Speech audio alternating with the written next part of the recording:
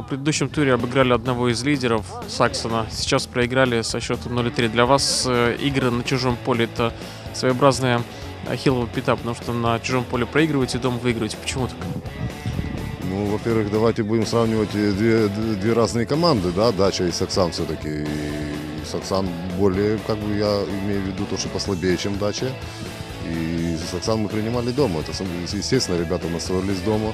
Последняя игра домашняя в этом году была, так как, э, сами знаете, что Костелены пропускают. Ну, ребята собрались и просто, я скажу, что переиграли. А Сегодня, конечно, ну, мы рассчитывали, что и считаем, что Дача одна из сильных команд вообще в чемпионате. Она, я так думаю, что будет, э, скорее всего, фаворитом да, на чемпионство. И мы были готовы к этому. Ну, играли вторым номером и, конечно, были настроены не, не на 0-3, но что получилось, то получилось. Ребята вышли, что, что могли, то отдали. Я благодарен ребятам за это. Да, конечно, они еще, команда, как вы знаете, у нас молодая, и стабильности как таковой еще нету. Да, прошлую выиграли, следующую можем проиграть, но это не... Дело в том, что мы готовы на то, что мы будем проиграть. Мы готовы вообще на все игры по, по боевому. Сегодня старались, конечно, но Смотрите, э, по этому чемпионату задача, видимо, ясна. Это остаться в национальной дивизии. А что вообще с перспективой в команде? То есть следующий сезон команда будет укомплектовываться, там, укрепляться или какова? Ну, я не знаю, это надо к руководству обращаться, так как будет, будет укомплектовываться или нет. Вы же прекрасно понимаете, что это, если укомплектовываться, то нужны деньги, да? Опять же.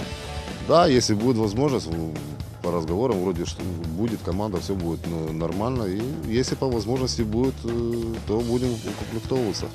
Но опять же, если этой командой идти, то это опять же нам нужно время, да, скажем так, э, и, играть. И видно, что ребята на глазах растут. Это не только по играм видно, это и по тренировочному процессу видно. Ребята стараются, отдаются.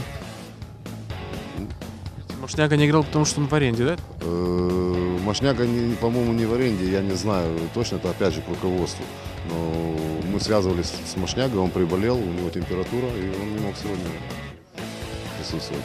Вы говорили о том, что получилось, то и получилось. А что не получилось сегодня, на взгляд? Ну, много э, ошибок э, в индивидуальном плане, да, скажем так. Где-то, где-то может, чуть и перегорели, может быть, ребята. И поэтому не получалось. Это даже, даже в простых передачах где-то ошибались, да.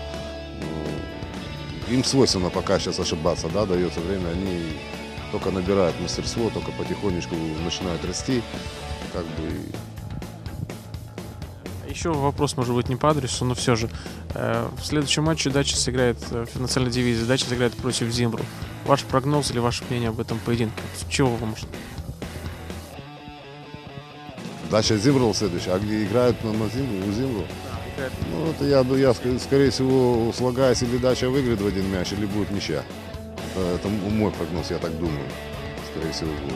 Потому что вы проиграли у, у Зимру со счетом 6. Мне ничего не говорит. Это, я вам опять же повторяю, что ребята у нас молодые, и как бы стабильности от них сейчас ждать, да, им свойственно ошибаться. Я, я опять же повторяюсь, и то, что случилось там 6-0, здесь 3-0, это, это ничего не говорит. Тут все может перекрутиться и, пожалуйста, и, по-моему, если не ошибаюсь, Академия переиграла Зимбру, да, на, на поле Зимбру. Так что здесь все, как бы, здесь ничего такого страшного нету. Я опять же повторяю, что Дача одна из фаворитов на чемпионство, да, и я думаю, что боек будет, но да, скорее всего, удачи, да, на мой взгляд.